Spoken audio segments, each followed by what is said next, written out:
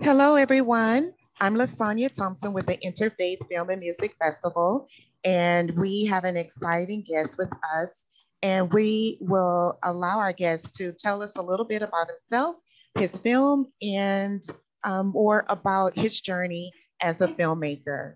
Anthony, take it away.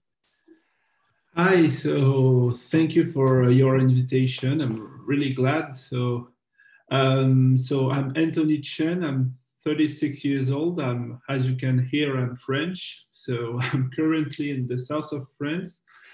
Uh, I often travel abroad to, to the US, especially for my documentaries.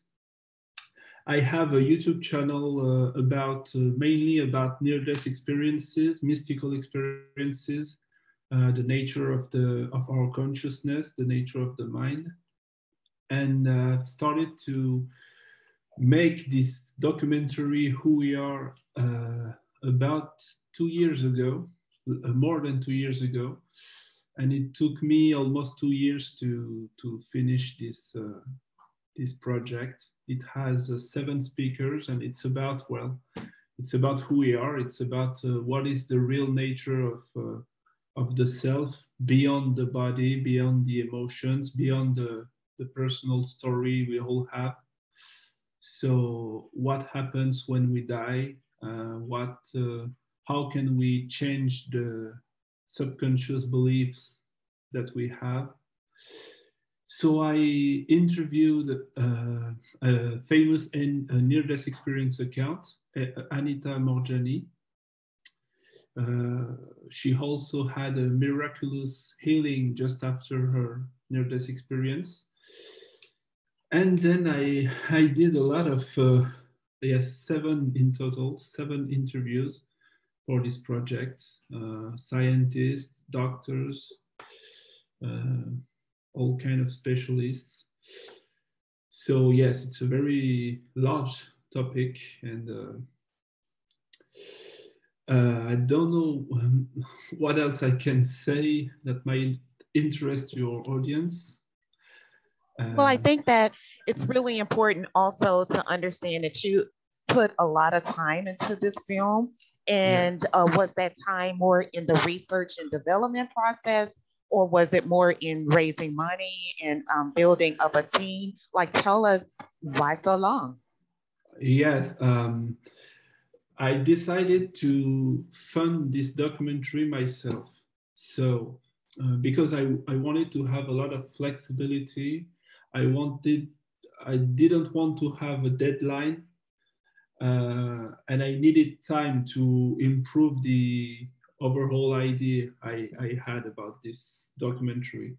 So uh, I've spent a lot of time to research online, uh, online conferences. I've read a lot of books about these topics. Uh, and then it took me a few months to, to shoot the documentary. So I had to travel to UK, to five different states in the, in the, in the US, it's, uh, including New York state.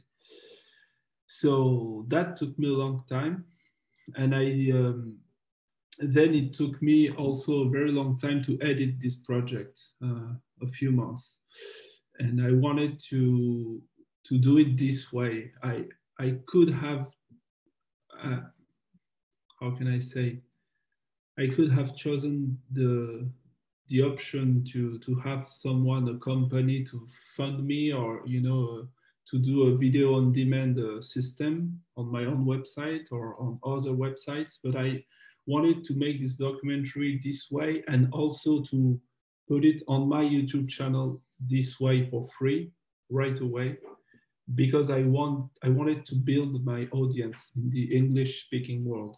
So that was my main uh, objective. So who are you finding um, that are, is gravitating towards your content um, for near-death experiences? Are you getting any particular religion like are Christians or Buddhists or Muslims, um, people who are atheists? Like who's who or do you even know? Um, do people share that information with you? Uh, not all people share this information, but um, it's really cross religions, I would say. Uh, people from all over all over the world are sending me emails about the, this documentary right now. Uh, in India, in uh, in the US, in South America, and in Africa, in Asia, Japan. So uh, it's really it's not a, a, one religion a one religion thing. Sorry, this uh, this project. I think it cross it crosses a lot of uh, cultures. Yes. Which I think is really uh, critical in terms of putting together content um, to really make an impact. And with that uh, being the case, what um, did you experience in terms of um, resources that you needed that you didn't anticipate? What was some of the surprises that you had to overcome um, as uh, you went along the journey? Uh, one surprise was that uh, it happens a lot in this process is that I had to change of speakers. I, I uh, at first I had like uh, nine speakers. So at the very last uh, minute, I decided to take out two speakers and to add a new one. So I had to to come up with more money and more energy to travel to uh, a new place to interview this person in the end. So you know, and generally there there are a lot of uh, extra costs for this kind of project you know. You you always need more money so uh, you never have you never have uh, enough money to to do what you want to do i think. Absolutely. And was there a time that you took a break or that you just needed to like get yes. a timeout like describe that experience yes i um, I had to adjust to uh, because I don't I didn't have an unlimited budget, so I have to I had to adjust a few times and make a, take a break and wait a few weeks to to do a, another travel to to to shoot the documentary. Yes, um, it's uh, yeah, it's. Um, I think that when we don't have enough money or the money we would like to have, we, we can be more creative and overcome these problems. You know, there is always a way to overcome all the problems, especially with today's technology. We can do many, many things with little, but we have to be creative. So, and we have to be flexible with time, you know, and patient. So that's a, a whole process. Oh, well, that is um, reassuring for some people because it can be overwhelming at times um, when yeah. you really want to give birth and it seems like the baby is just never going to come. Um, but in your instance, um, to get the baby out to the widest audience, you mentioned that you would put it on your YouTube channels, you're doing the festival circuits, but what else are you trying to get to uh, the universities um, because of the educational component? Are you getting to the religious institutions or NGOs? Like, what's the strategy to continue to keep life in your project?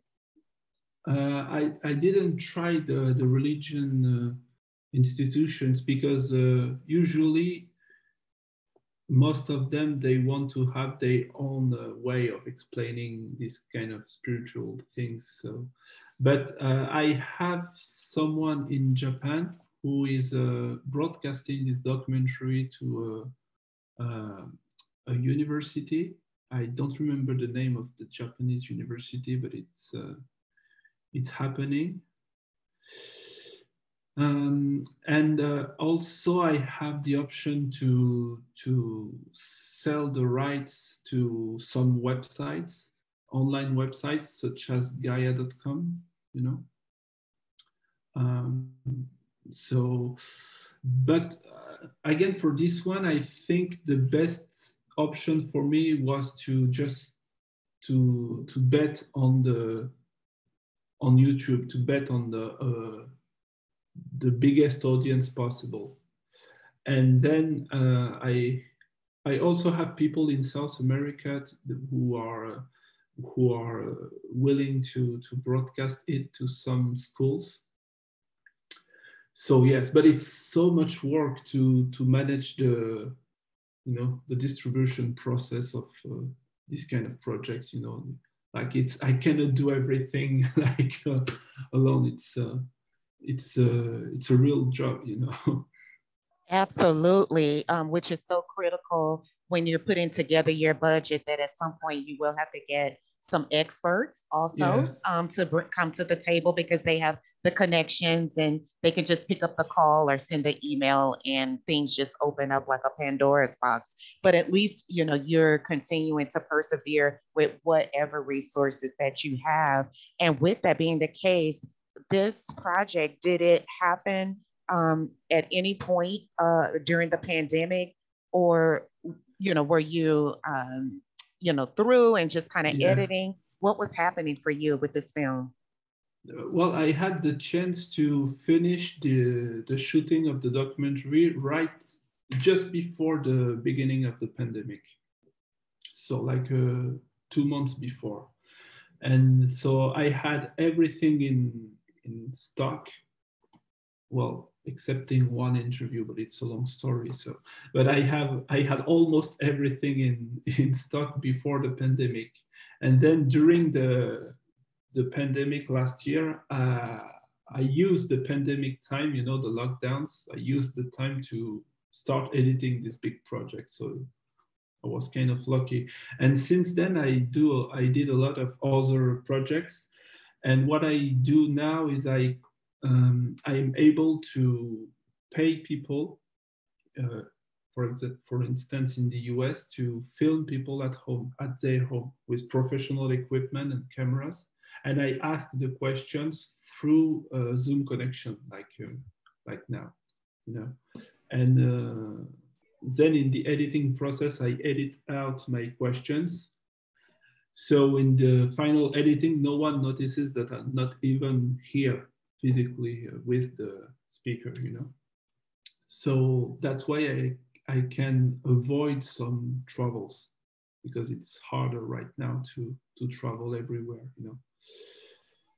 So that is a good tip. Uh, and what do you recommend um, to filmmakers in terms of preparing um, for, you know, let's just say a perpetual infinite pandemic? Like, what should we be doing as filmmakers to be smarter? I think what it depends what kind of projects you would like to come up with, but if you want to do something really professional, you can do this way, like uh, hire some people uh, you want to to in the location you where you want to shoot and have people uh, film for you.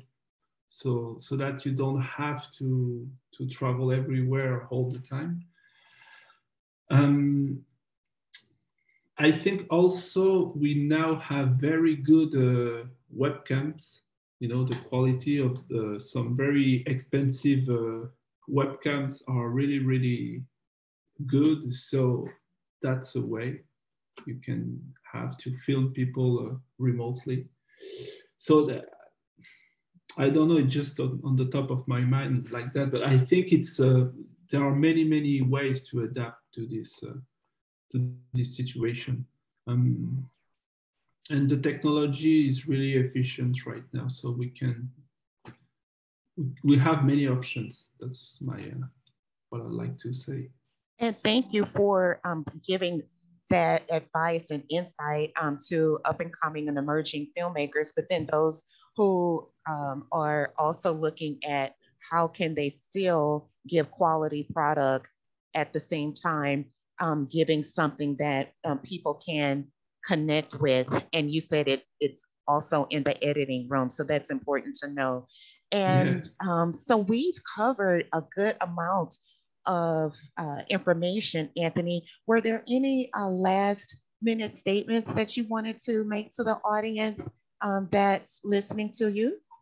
Um, let's say what I what I had in mind.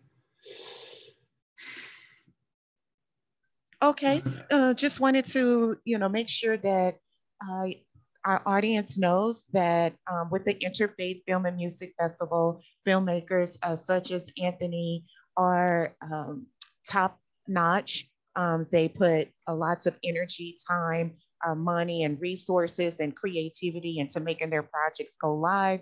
And um, we hope that other filmmakers will be inspired to talk about yeah. touchy subjects such as faith, spirituality, near death, death, um, post death, um, and what it means to uh, us that are still here alive on earth. So thank you, Anthony, for um, interviewing with us. Yeah, thank you. Uh, I, I hope it, it was uh, good for you. and sorry for my French accent also. No, I lost absolutely. my English. Long time ago, right? No, we enjoy it. That's all about the variety, okay. the tossed salad. So we want for you to have a very productive um, film um, year. And then we look forward to any new projects that you have down the road. Okay, yeah, great. Uh, thank you for uh, this invitation again. It's a great idea to have this kind of uh, overall uh, festival of, about faith and uh, beliefs people can have because I think we we are in search of meaning right now. We lost a kind of a spiritual connection and we need that in our lives.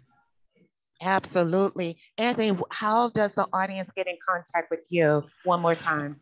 Uh, it's uh, I, through my website, anthonychene.com. Uh, also, you can uh, go on YouTube and find my YouTube channel easily with my name, Anthony Chene.